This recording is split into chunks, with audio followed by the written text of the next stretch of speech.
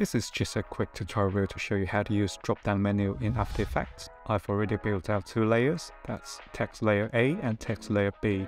And the top layer is just a node object, which contains all the layer controls. Go to Effect, Expression Controls, and choose drop-down menu control.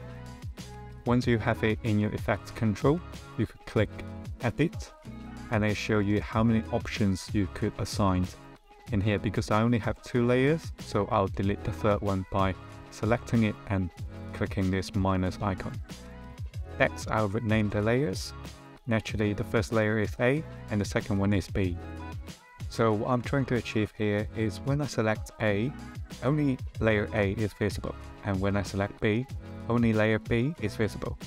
And to achieve that, we just need to manipulate the opacity properties on both layers so that when I pick layer A on the drop down menu, the opacity of layer A should be 100% and uh, vice versa when I pick B on the drop down menu, the B layer's opacity should be 100%, otherwise it should be 0. If it doesn't make sense to you for now, it if it doesn't make sense to you, don't worry about it.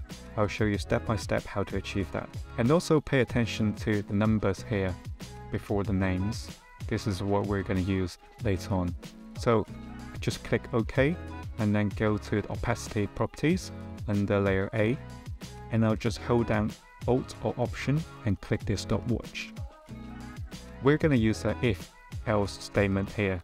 So if bracket and just pick whip this one to the drop down menu. If this is exactly, we use double equals index 1. If you remember right, index 1 is showing the A layer. What we're telling layer A is when this is pointing to the first index, the first layer, I want your opacity to be 100. Else, I want your opacity to be 0. Now nothing has changed because we haven't assigned anything to layer B just yet. What you could do is to right click this opacity properties, copy expression only, and under B layer, the opacity property, press Command or Control V. Now if you open this up, you already have the expression copied because layer A is pointing index number 1, so layer B has to point to index number 2. Once you have done that, you should see the effect. Now you can use the drop-down menu to choose which layer is being visible.